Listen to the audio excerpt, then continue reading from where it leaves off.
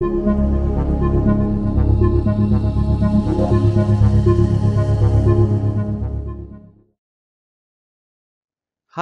my name is Dan Padilha. I'm a graduate student at the University of Tokyo and at the Japanese Institute of Space and Astronautical Science, and I'd like to introduce some astrodynamics tools that I've been working on for designing spacecraft trajectories with Julia. But what exactly does an astrodynamicist do? Well, they're responsible for designing trajectories for spacecraft missions, for example, orbits around and between planets and moons. They do this by using techniques of computational astrodynamics to simulate spacecraft motion. They also analyze and optimize trajectories based on mission requirements, for example, landing on or perhaps crashing into the moon. And more recently, they exploit chaotic motion in space to design trajectories that are harder, better, faster, stronger, or usually just more fuel efficient. Computational astrodynamics is a huge and complex field of simulation analysis, so can modern programming tools like Julia help in spacecraft trajectory design? Well, yes. We can help improve development efficiency and computational performance, we can provide access to state-of-the-art methods, and perhaps inspire and enable novel approaches in astrodynamics. So to demonstrate this, I've been developing orbitaltrajectories.jl, a proof of concept package for spacecraft tra trajectory design in Julia. But why should we use Julia? Well, if you're watching this talk, then you probably already know about a few of the things that make Julia a particularly attractive language. You may have heard of several key features enabled by Julia, which we believe may also provide benefits to future astrodynamics tools. Namely, Julia is a modern high-performance programming language that leads the state-of-the-art in differential systems, statistical analysis, machine learning, and in other fields.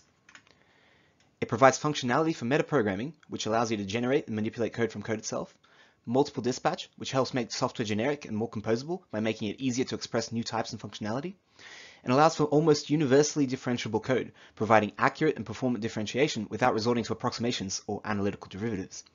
Now, individually, these techniques are already used in many applications in and outside of astrodynamics and other fields, but combined, they may lead to more efficient and possibly innovative new methods and tools. Let me give you an example of how we can simulate spacecraft motion using a so-called restricted n-body model. Here, we have a system that is restricted to three bodies, Mars, its moon Phobos, which orbits in an ellipse, and a spacecraft. The equations of motion for the spacecraft are defined by this set of second-order differential equations, which essentially define the acceleration of the spacecraft as a function of the rotating frame of reference, which follows the moon Phobos, plus the gravitational attraction both to Mars and to the much smaller moon. Now, developing simulations for this system generally requires hand-deriving and hand-coding derivatives of these functions. Instead, using the modeling toolkit.jl package, we can simply define these as functions directly, then define symbolic variables and parameters that stand in for the numerical values, allowing us to directly represent the equations of motion of our spacecraft. Using metaprogramming, this representation is essentially treated as a structured expression of Julia code, which Modeling Toolkit can then transform automatically into code for integration or simulation of a first-order ordinary differential equation system with additional options to improve aspects of computational performance. Finally, Julia itself compiles and caches these functions into machine instructions at runtime, specializing to the specific numerical types used to provide the highest possible native performance for each simulation. So in the end, without having to hand derive or hand code it, we have a simple and extensible definition of our model that still provides extremely high performance execution. Using such techniques, I've been able to define symbolic equations of motion for various astrodynamical models, including the elliptic restricted three-body problem, the bicircular restricted four-body problem, and the ephemeris restricted n-body problem. Now, through metaprogramming, we can automatically generate not only the propagation functions as I showed before, but we can also generate new models directly from the existing ones, such as the circular restricted three-body problem, which simply substitutes an eccentricity of zero into the elliptic model. Currently, I'm also experimenting with composition of models, together with custom perturbations such as solar radiation pressure. Now, we can take these propagation functions and pass them directly to methods for generating and correcting trajectories. With Julia's multiple dispatch feature, these methods are made generic, effectively accepting any of the four models, while still being specialized by the Julia compiler to provide high-performance computation. And this extends to functionality such as plotting and, and analysis of trajectories as well.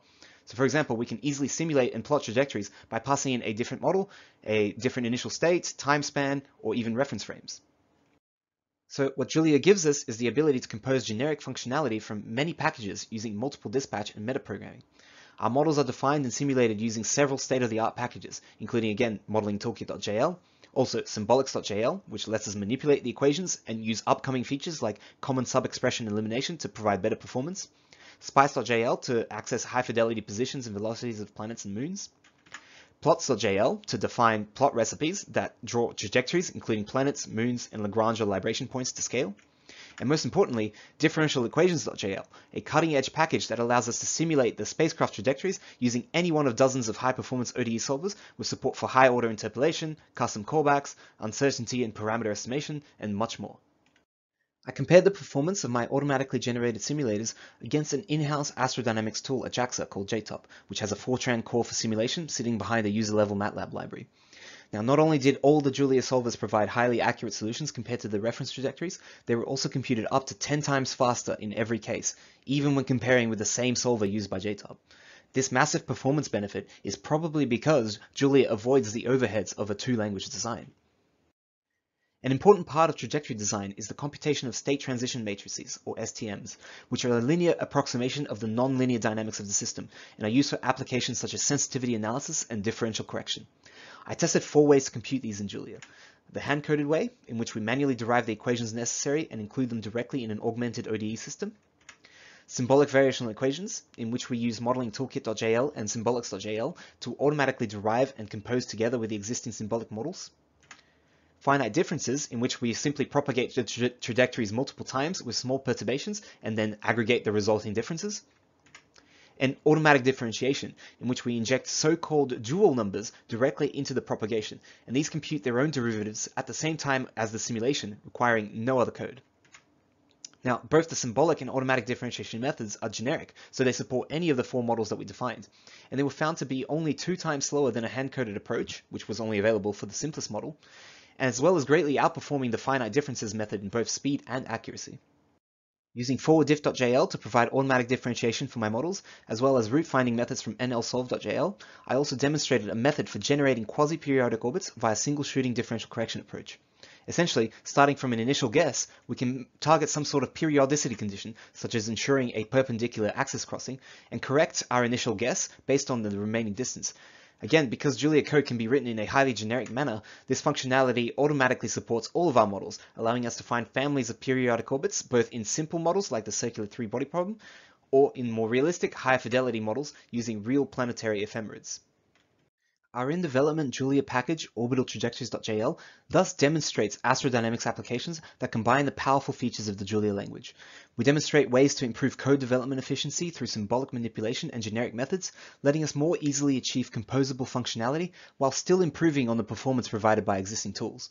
I'm currently working on demonstrating some additional support for model composability, including custom perturbations, as well as an extension to higher order state transition tensors, which can be applied to nonlinear controller spacecraft and to uncertainty propagation techniques. This high performance, composability, and access to state-of-the-art libraries all combine to provide many benefits, and these are likely to enable the future design of innovative methods, not only in astrodynamics, but also in other fields. For more details, including a brief introduction to some other astrodynamics packages available in Julia, please refer to our conference paper, or feel free to contact me for any questions or comments. Thank you very much for your time, and please enjoy the rest of JuliaCon.